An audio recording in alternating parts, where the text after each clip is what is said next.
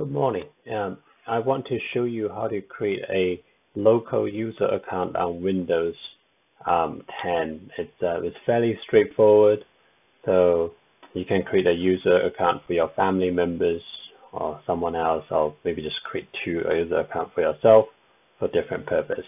So here, uh, the first thing you're going to do at the bottom in the search bar, you can just type user and then it will tell you to go to add, edit, or remove other users. Um, so then you click on that, or you could just click on the Windows logo the start menu and start typing user. That will take you to the same um, tab that you can click on to add users.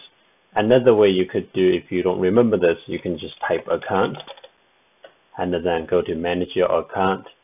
And uh, from there, uh, you can click on family and other users. That way, that place you can, um, from there you can add a new user.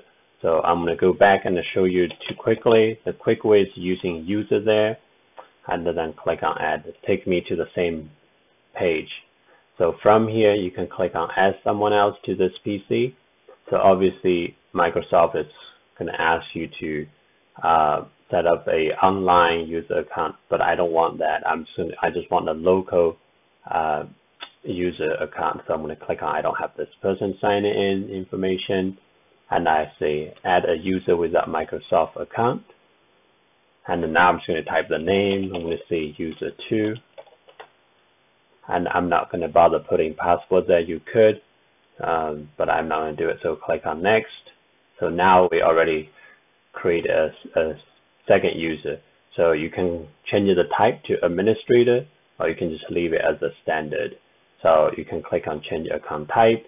From there, you can choose administrator or standard user. So I'm going to leave it the way it is. Okay.